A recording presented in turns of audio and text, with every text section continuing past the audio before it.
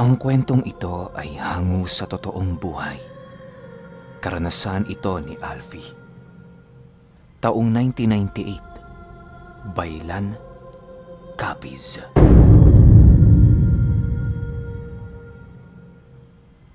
Itong mga panahong ito, isang mag-aaral sa kolehiyo itong si Alfie. Sa karatig bayan siya ng Pontevedra Capiz nakatira, kaya kadalasan ay ginagabi na siya sa pag-uwi. At kapag minamalas pa, ay wala pa siyang masasakyang jeep. Isa sa mga kaibigan ni Alfie na itatago natin sa pangalang Junie ang kadalasan niyang pinupuntahan kapag ginagabi na siya sa pag-uwi. At dahil dito, ay may isang kaganapang lubusang nakapagbabago ng kanyang pagkatao. Konting description lang tungkol sa ugali ni Alfie. Medyo tahimik ito at kadalasang nag-iisa. Ang tanging kinakausap nito ay si Junie at ang kanilang advisor na itatago natin sa pangalang Sir Manny. Silang dalawa ang pinagkakatiwalaan ni Alfie. Sa kabila ng pagiging tahimik ay tampulan din ng gulo ang binata. May kagandahang lalaki din kasi ito kaya madalas ay nagiging sentro ng atensyon kahit saang mang lugar magpunta. Isang halimbawa nito ay nang minsan siyang makitulog kina Junie. Sakto namang nandoon ang mga pinsan nitong mga babae dahil kaarawan ng kanyang kapatid. Ah, pre, mga pinsan ko nga pala. Si Erika, Myla at Melissa. Mga insan, si Alfie, kaklase ko. Pagpapakilala ni Junie sa kaibigan. Marahan namang tumango si Alfie bilang pagpapakita ng respeto. Agad din itong naupo sa isang bakanting upuan, ngunit laking gulat niya nang lapitan siya ni Erika. Ah, Alfie ang pangalan mo, tama? Ako nga pala si Erika. Taga saan ka ba? Wika nito. Hindi naman tumugon si Alfie. Sa halip ay dumampot ito ng baso at nagsali ng tubig mula sa pitchel. Napakunot ang noo ng dalaga dahil sa reaksyon ng binata. Maya-maya ay dumating si Junie at tinawag si Alfie. Pre, tara kumain ka na muna. Uy, Erika, tigilan mo tong best friend ko ah. Good boy to. Mamili ka ng bibiktimahin mo. Pasensya ka na Alfie ah. Medyo nakainom na kasi ang mga yan eh. Wika ni Junie. Inakala ni Alfie na lulubayan na siya ng dalaga. Ngunit lingid sa kaalaman niya na may mas malala pa pala itong gagawin. Habang nagpapaantok si Alfie sa bahay ni na Junie, ay nagbabasa siya ng mga libro niya. Laking gulat ng binata nang bigla na lang may bumunot ng hibla ng kanyang buhok mula sa likod. Nang lingunin niya ito ay nakita niyang si Erika ang may gawa nun. Sa pag-aakalang nangungulit lang ito ay hinayaan na lang niya. Agad na din siyang pumasok sa silid na tutulugan. Kinabukasan, habang nasa klase, laking pagtataka niya dahil parang hinahanap niya si Erika. At sa hindi malamang dahilan, ay bigla na lang niyang naisipang itanong kay Junie ang tungkol sa dalaga. Ah, pre, yung pinsan mong si Erika, nandoon pa ba sa inyo? Tanong nito na nakapagpataas ng kilay ni Junie. Ha? Si Erika? Teka pre, parang naninibago yata ako sa'yo ah. First time mo yatang nagtanong tungkol sa isang babae. Bakit? Anong meron tol? Gulat na tanong ni Junie. Napailing naman si Alfie at agad na yumuko dahil sa hiya. Maging siya ay nagtaka sa sarili niya dahil bakit nga naman niya hahanapin si Erika e ni ayaw nga niya itong kausapin. Makalipas ang ilang araw ay unti-unti niyang napapansin na tila palalim ng palalim ang nararamdaman niya sa dalaga. Hanggang isang araw, aksidente silang nagkita sa palengke ng baylan dahil may binili itong gamit para sa kanyang proyekto. Halos hindi maalis ni Alfie ang tingin niya sa dalaga hanggang sa nakita na lang niya ang kanyang sariling hinahawakan, ang kamay ni Erika. Nakita naman ito ni Junie kaya agad niyang nilapitan ng dalawa para asarin. Kapwa na mula ang pisngi ng dalawa at hindi nakapagsalita. Uy pre, tara na sa bahay para masimulan na natin tong project natin. Mamaya na kayo magligawan dyan kapag natapos na natin to. Wika ni Junie. Nang marinig ito ni Erika ay pinili nitong sumama sa dalawa. Pagdating nila sa bahay ni na Junie, naunang pumasok si Alfie. Nakasunod naman si Junie at naiwan sa labas si Erika. Napansin nila na may pinuntahan itong isang puno.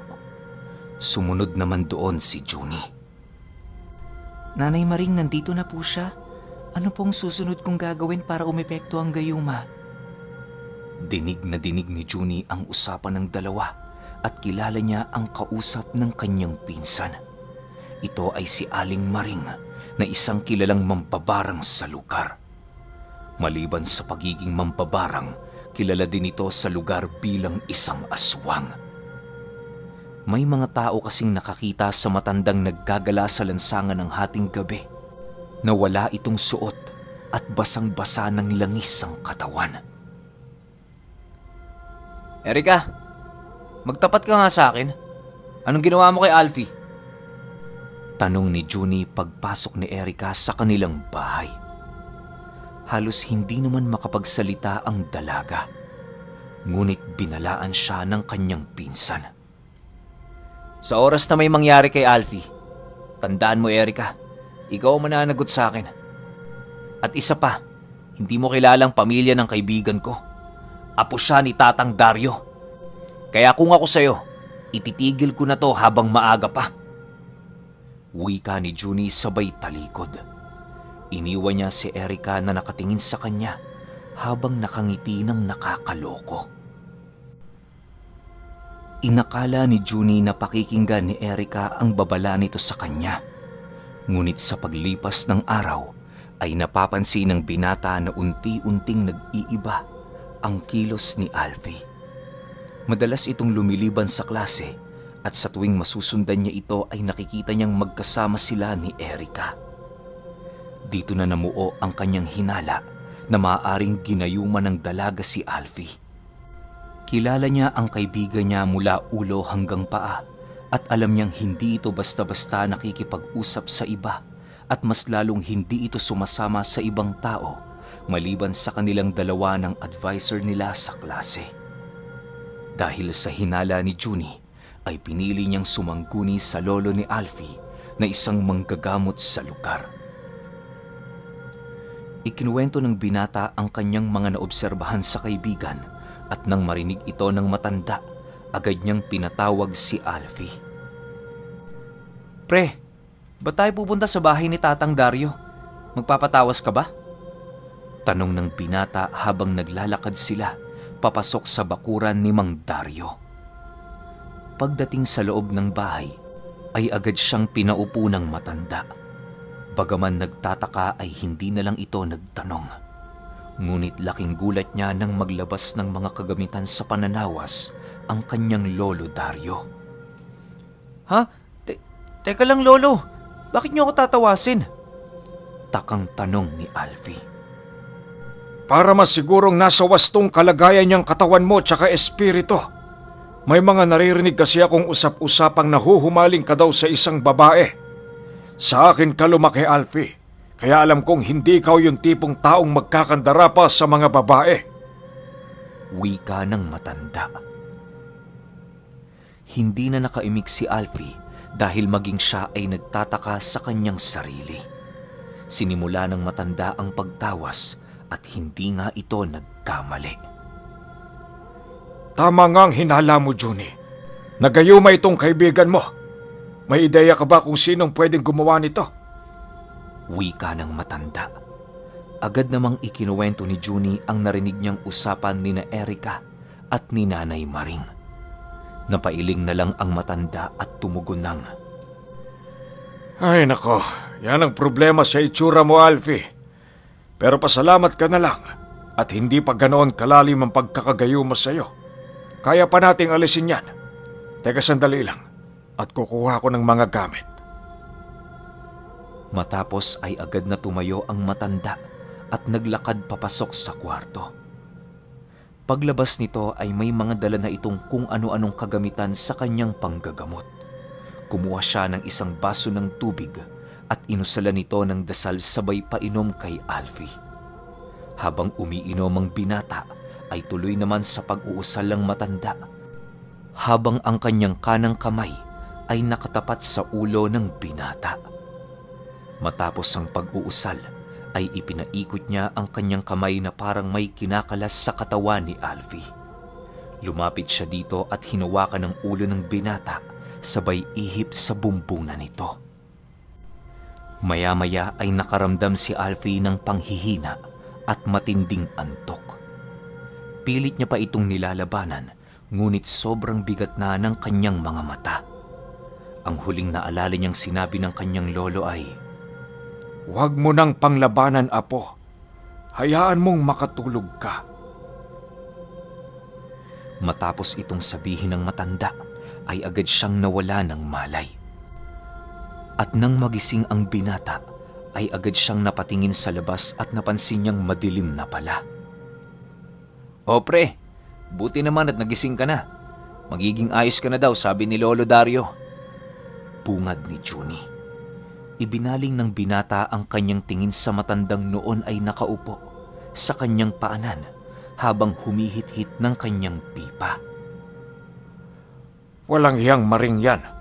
Apo, dumito ka lang at ako nang bahala sa matandang mambabarang na yon.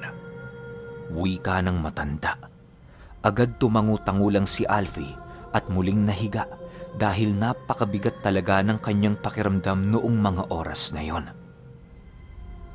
Pre, ano ba ang nangyari nung nawalan ako ng malay? Tanong ng binata. Agad namang ikinuwento ni Junie ang nangyari. Ayon sa kanya, ay hinuli ni Mang Dario ang kaluluwa ng may kagagawa ng panggagayuma sa kanya, ngunit sa kasamaang palad ay nakawala ito. Maya-maya habang nagkukwentuhan ay dumating ang tsuhi ni Alfie na si Onyok. Isa itong nagsasanay na manggagamot sa ilalim ng pagtuturo ng lolo niya. Tatang, nandito na po ako. Alis na ba tayo? Bungad nito. Agad namang tumugo ng matandang nasa loob ng kanyang silid. Oh, sandali lang at may kinukuha lang akong gamit. Paglabas nito sa silid, ay nanlaki ang mga mata ni Alfie dahil kargado ng gulok at nakasuot pa ng tsalekong pangproteksyon ng matanda. Lo, Tio Onyok, saan po kayo pupunta? Gulat na tanong ng binata. Balak pa sana nitong sumama kaso pinigilan siya ng matanda. Dito ka lang. Mapanganib ang pupuntahan namin ng tsuhin mo. Maliban na lang kung gusto mong makakita ng totoong aswang. Wika ng matanda. Hindi naman nagdalawang isip si Alfie.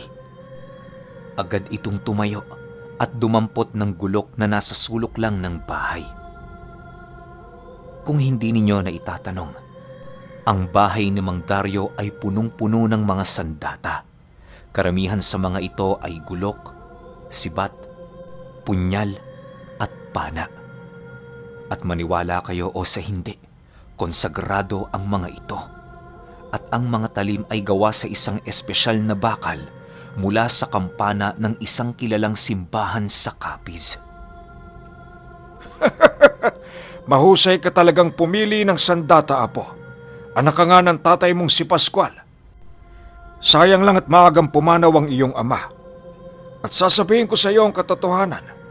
Ang taong pupuntahan natin, ang dahilan ng pagkamatay niya. Hindi ko alam kung talagang sinadya ng tadhana na parehong taong gumawa ng panggagayuma sa inyo. Pero kahit ano pa man yan, may dahilan na ako para gilitan ng leeg ang matandang aswang na yon. Wika ng matanda. Hindi na sila nagsayang pa ng oras. Bitbit ang isang sulo ay agad na silang tumulak papunta sa tahanan ng matandang si Aling Maring. Habang naglalakad ay binalaan ng matanda si Alfie.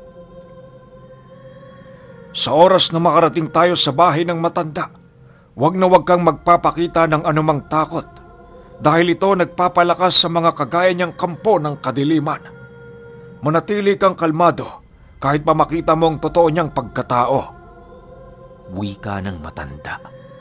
Tumangu-tangu lang si Alfie at maya-maya nga ay bumungad sa kanila ang maliit na kubo ng matanda. Ngunit laking gulat nila dahil napakaraming tao sa bakuran nito. Pinili nilang makiramdam mula sa malayo at base sa obserbasyon ni na Alfie ay parang may ginagawang ritual ang mga ito dahil nakapaikot sila sa isang malaking siga. Inilibot ng binata ang kanyang tingin at sa isang madilim na sulok ay nahagip ng kanyang paningin ang isang babaeng nakagapos sa paekis na kawayan. Nang tingnan niya itong mabuti, ay nakita niyang si Erika ang babaeng yon. Agad niyang kinuha ang atensyon ni Junie. Nanlaki ang mga mata nila nang makita nilang nilalapitan ito ng isang lalaking may hawak na patalim. At dahil dito ay hindi na nila napigilan pa si Junie. Dali-dali itong sumugod papunta sa pinsan niya at tinadya ng lalaking may hawak ng patalim na agad namang nakaagaw ng atensyon ng mga taong nandoon. Naloko na! Magsipaghanda na kayo! Onyok! Alfie! Wika ng matanda. Sabay labas mula sa kanilang pinagtataguan. Agad naman silang nasipat ng mga tao ngunit tuloy-tuloy sila sa pagtakbo papunta kay Junie dahil kinukuyog na ito ng napakaraming kalalakihan. Habang papatakbo ay napapansin ni Alfie na sabay nag-uusal ng dasal sina Onyok at Mang Dario. Laking gulat niya nang sabay din ng mga itong nag-ihip sa kanya. Hindi na nakapagtanong pa ang binata at agad na din siyang bumunot ng gulok at pinagtatataga ang sino mang lumapit sa kanya gamit ang likod ng kanyang sandata. Napansin naman ito ni Mang Dario kaya agad niya itong sinaway. Huwag kang manghihinayang, Alfie! Hindi tao ang kalaban natin, kundi mga aswang! Patayin mo ang bawat lalapit sa'yo, kung hindi ikaw ang papatayin nila! Sigaw ng matanda at sinunod naman ito ng binata. Ang nangyaring sagupaan ay 30 laban sa apat. Pero nakakasabay naman sila sa kakulangan ng kanilang bilang. Dahil sa kaalaman ni Onyok at Mang Dario ay nagagawa nilang bawasan ang bilang ng kalaban. Laking pagtataka ni Alfie dahil kahit napakabilis kumilos ng mga kalaban ay nagagawa niya itong iwasan at makagante ng pagsalakay. Napapangiti ang binata dahil kahit napakatagal na nilang nakikipaglaban, ni hindi man lang siya nakaramdam ng pagod. Hanggang sa tuluyan ng mangonti ang bilang ng kalaban. Dito na lumabas ng kubo ang matandang si Aling Maring. Nasipat niya ang mga kasamahan niyang nagsibagsakan sa lapag. Agad namang sinabihan ni Mang Dario si Alfie na magtago sa kanyang likuran dahil tsak na magbabato ng tigalpo ang matanda. Nagkubli ang binata sa likod ng lolo niya at hindi nga nagkamali si Mang Dario. Saktong pagkatago ni Alfie ay nagbato ng palipadhanging tigalpo ang matanda. Buti na lang at maagap si Onyok at nagawa niya itong ibalik. Mga walang hiya kayo. Lalo ka na, Dario. Ang lakas ng loob niyong sugurin ako sa pamamahay ko. Dito ba talaga? Hindi ka ba nadala ng patayin ko ang panganay mo dahil sa parehong bagay na ginawa niya? Hindi nga maikakaila. Mag-ama nga talaga kayo. Wika ng matanda. Konting flashback. Ang tatay ni Alfie ay isa ding mahusay na manggagamot. Nagkaroon ito ng pasyenteng na biktima ng barang at si Aling Maring ang may kagagawan. Sinubukan itong talunin ng matanda sa pamamagitan ng kombate ngunit wala siyang nagawa dahil napakalakas nito pagdating sa ganoong larangan. Agad siyang natunto ng matanda at binarang. Sinubukan pang gamutin ni Mang Dario ang tatay ni Alfie. Ngunit huli na dahil lumaganap na sa katawan nito ang sakit na itinanim ng matanda. At kalaunan ay binawian din ng buhay. Nang marinig ito ni Alfie ay bigla siyang nakaramdam ng matinding galit. Biglang bumalik sa kanya ang masasayang alaala nila ng kanyang ama Unti-unting naglakad ang binata papunta sa matanda na labis namang ikinagulat ni Mang Dario.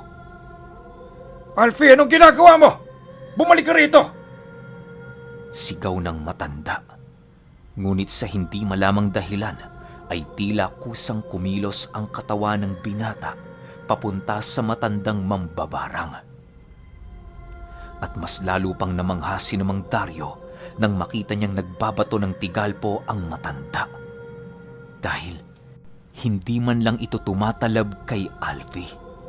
At habang tinititigan ng matanda ang binata, ay unti-unti niyang nakikita ang imahe ng ama nito sa kanya. Mahabaging Diyos! Si Pascual na nasa katauhan ni Alfie! Onyok, huwag mong pipigilan ng pamangkin mo. Hayaan mo lang siya ngunit maging alisto ka.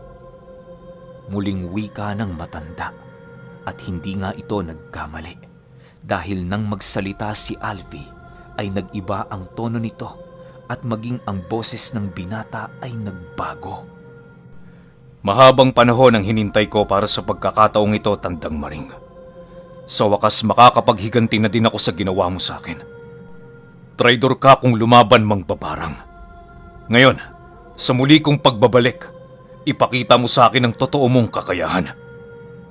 Wika ng tinig ng tatay ni Alfie. At sa mismong harap ni Lamang Dario ay nagbago ng anyo ang matanda. Lumantad ang totoo nitong pagkatao. Nagbago ang kulay ng kanyang balat at humaba ang kanyang mga ngipin. Maging ang mga mata niya ay unti-unti ring nagbabaga. Matapos ang pagpapalit anyo, ay agad niyang sinugod si Alfie. Mabilisan naman itong nakailag at agad na nakaganti ng pagsalakay sa kanya.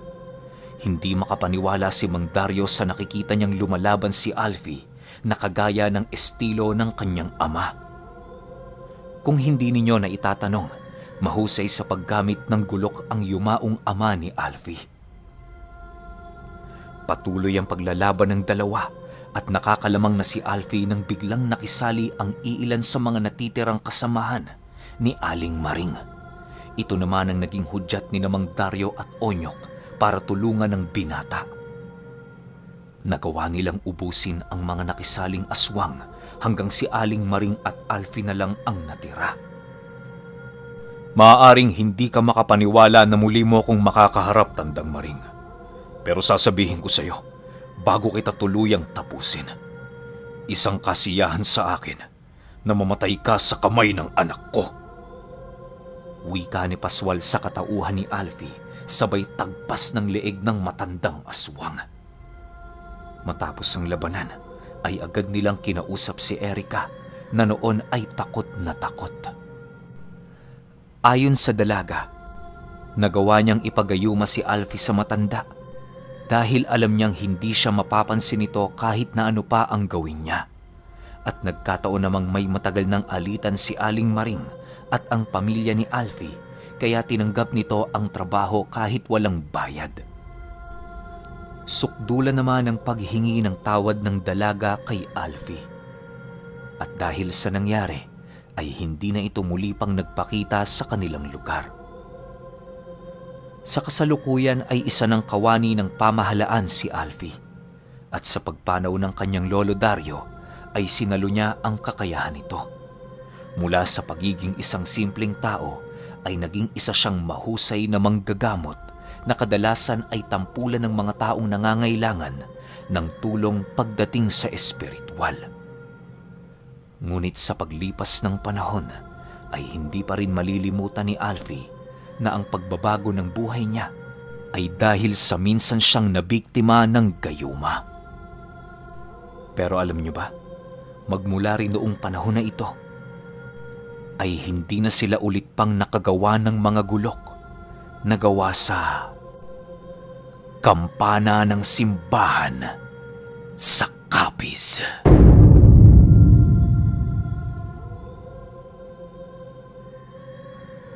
Okay, um, opinion ko sa kwento. Pwede pala yon yung sasanib yung namatay na antingero.